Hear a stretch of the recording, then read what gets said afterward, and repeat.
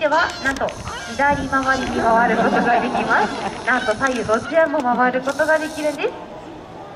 さあまだまだございます。ただ回るだけではございません。リアちゃんまだまだ技持ってきました。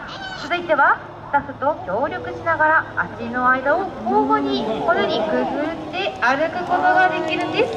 これは結すごくないですかちゃんと足の裏交互にくぐっておりますさあ少しリアちゃん体が大きくて結構すばしっこいので頑張っているのは足を広げお兄さんの方ですさあそれでは続いてご紹介する技が最後の技です最後の技お兄さんが持っているのは金メダルなんとこちらの金メダルを遠くに投げるとリアちゃんは追いかけるんですね。とても可愛らしい歩く姿。さあリアちゃんメダル見失っちゃいましたか？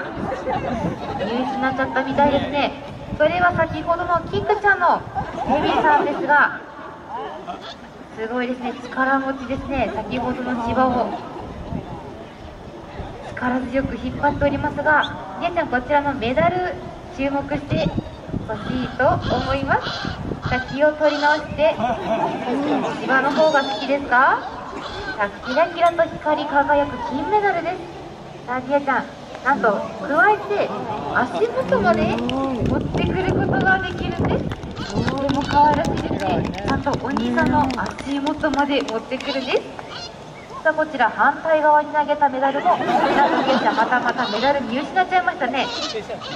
最近は草が伸び伸びと生い茂ってきておりますのでもしかしたらメダルの姿見えなくなっちゃったのかなと思いますがちゃんと見つけて足元まで持ってくることができます。